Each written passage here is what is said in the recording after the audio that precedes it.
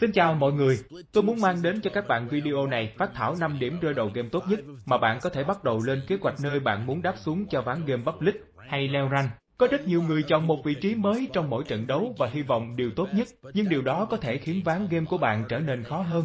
Vì vậy, hãy bắt đầu bằng cách phát thảo những điều tạo nên một vị trí nhảy tốt nhất lúc đầu game và hãy cùng tôi phân tích. Thứ nhất, điểm nhảy đáp xuống có đa dạng tài nguyên để lút.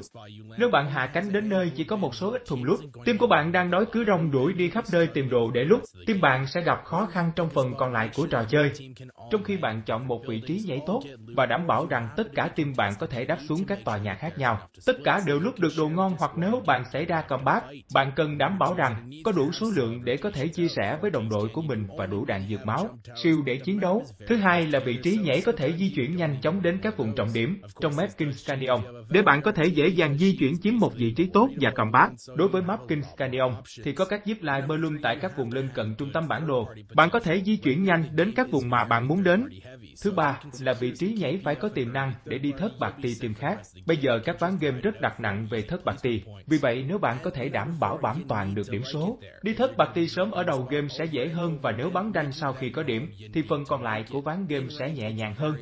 Thứ tư, bạn thích chỗ nhảy này, nếu bạn sẽ rơi vào một vị trí lặp đi lặp lại và nắm chắc từng vị trí, gốc cạnh nhà trong lòng bàn tay, biến khu đó thành nhà của bạn. Âm tường địa hình cũng là điều lợi thế khi bắn ranh.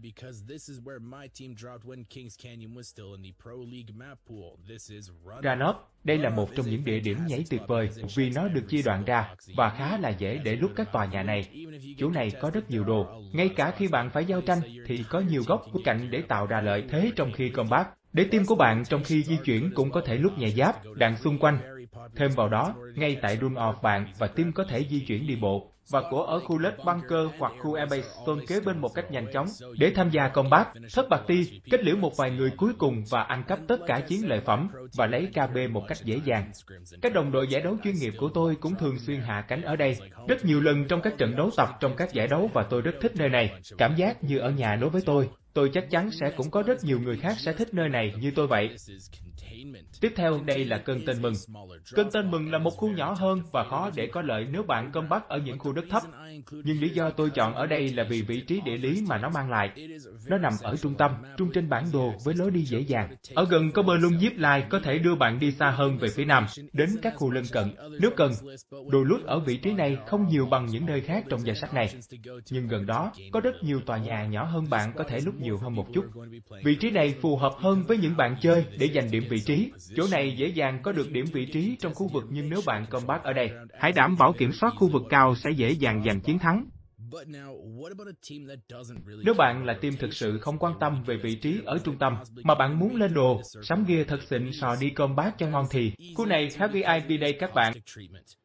Đây là Castic Treatment. Vị trí này nằm ở phía nam của bản đồ. Nó từng được gọi là tờ Treatment.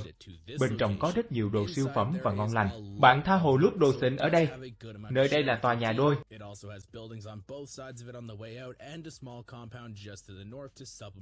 Về phía bắc một khu phức hợp nhỏ bạn có thể lút dọc đường đi. Đường lúc có cơ hội vũ khí vàng. Khu Watch Tower cũng là nơi lút lý tưởng dọc đường đi từ khu Castic qua. Có nhiều đồ trong đây, có thể là bất cứ thứ gì từ ba lô và khiên đến vũ khí trang bị đầy đủ.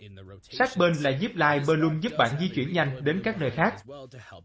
Bạn không cần phải lo về việc di chuyển và sẽ có nhiều đội bắn nhau ở khu vực này. Trường hợp bạn muốn kiếm nhiều mạng nhất có thể, nơi đây khá phù hợp cho bạn. Nhưng nếu team bạn muốn nơi để nhảy vừa có thể khô máu với nhiều team, vừa có vị trí tốt ở trung tâm dễ di chuyển sang các khu vực lớn khác. Đây là option dành cho bạn, khu cáp Actor. Ở đây có 8 khu nhà, dễ dàng lút với hàng tá đồ ở các nhà này. Khu này được rất nhiều người yêu. Rất hiếm khi không có team ở đây. Vì vậy, bạn có chiến đấu thả gà ở đây, sau đó bạn có thể sang khu phòng thí nghiệm và vào bo tổ để tẩu thoát nếu cần hoặc bay vào bo chiếm vị trí trước, canh cổng, nhận điểm KB sớm và thủ sớm ở các vị trí tốt để lấy điểm top endgame. Mặc dù nếu nhiều team cùng đi đến đây với bạn, nếu bạn nhảy ở phía bắc của ba tòa nhà, sẽ ít tìm đến đến đó, hơn rất nhiều và bạn sẽ lút được một lượng lớn đồ lút chất lượng để dành khu vực chính giữ cho các team thất bạc ti nhau và bạn chỉ cần để chỉ cần là team cuối cùng dọn dẹp và chiếm chiến lợi phẩm. Đây là map room, khu hack map của game. Bạn có thể đến địa điểm này check-in và lên kế hoạch cho team. Mushroom Cryptos là khu tiếp quản thị trấn King Canyon. Khu vực này không chỉ có rất nhiều đồ lút chất lượng, với một tòa nhà đầy ắp đồ lút cộng với rất nhiều thùng, đạn dược, bom. Ngoài ra còn các tường tháp cao xung quanh và một giúp lai ba lần, giúp bạn giữ vị trí cao ở khu này. Khi bạn sử dụng phòng bản đồ để quét, nó không chỉ giúp bạn biết vòng bo tiếp theo, mà còn hiển thị vị trí của mọi người trên bản đồ, mà bạn đến để xem nơi mọi người đã hạ cánh, theo đúng nghĩa đen để bạn có thể lập kế hoạch di chuyển an toàn, hoặc đi săn tìm thất bạc ti lấy DMKB nhưng cảnh báo rằng khu vực này rất được nhiều tiên săn đón.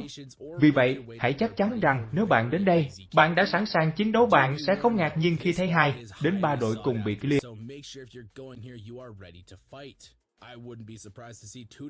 Nếu bạn muốn đi shopping thì có một khu chợ tại Mapping Canyon. Nếu bạn có kỹ năng và bắn tốt, việc nhảy đến đi bạn có thể shopping các hòm chiến lợi phẩm mà bạn giành được sau khi hạ những tên địch nhảy cùng.